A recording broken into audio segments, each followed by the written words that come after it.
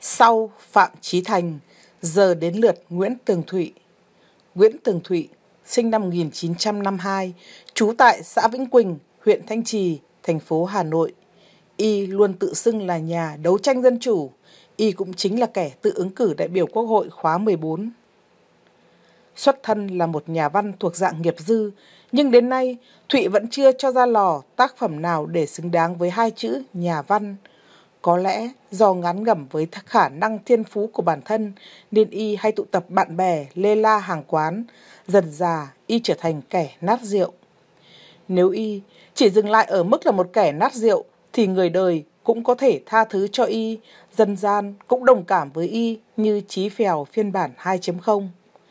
Nhưng y đâu nghĩ được như vậy, phần vì ngáo rượu, phần vì khát tiền. Tháng 7 năm 2014, Nguyễn Tường Thụy bất ngờ được những người sáng lập có mặt tại lễ ra mắt của cái gọi là Hội Nhà báo Độc lập bầu vào một cương vị phó chủ tịch của hội này.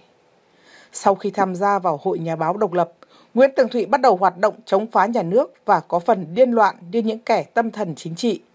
Y trực tiếp nhận tiền và tham gia các cuộc trả lời phỏng vấn nhiều báo đài quốc tế với những ngôn từ đã được đặt hàng của RFA, BBC, Việt Tân để sản xuất ra các bài viết xuyên tạc, bôi nhọ tình hình dân chủ, nhân quyền ở Việt Nam bằng nhiều thủ đoạn bẩn thỉu nhằm bóp méo sự thật, lừa dối dư luận.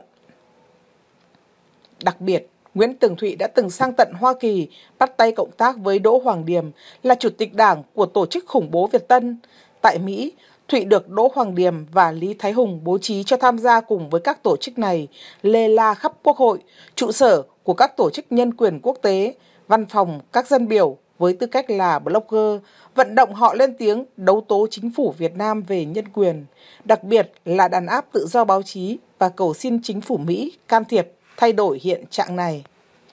Nhận sự chỉ đạo từ Việt Tân, Nguyễn Tường Thụy còn thường xuyên kích động người dân khiếu nại, khiếu kiện, tụ tập đông người tại trụ sở các cơ quan đảng, nhà nước để gây rối an ninh trật tự và xem việc lợi dụng chăn dắt dân oan, lợi dụng thương phế binh Việt Nam Cộng Hòa, sự thù hằn chế độ của một bộ phận người Việt lưu vong, cũng như các công cụ tuyên truyền chống phá của thế lực thù địch phương Tây để trục lợi, kiếm tiền.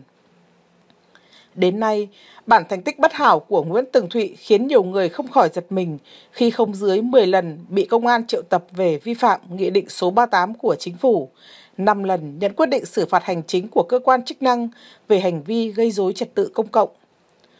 Thụy nổi tiếng dê già với nhiều hình ảnh qua ông ghì gỡ không ra với ả giang hồ Bùi Thị Minh Hằng thì không có gì là quá bất ngờ khi người ta nói về Nguyễn Tường Thụy.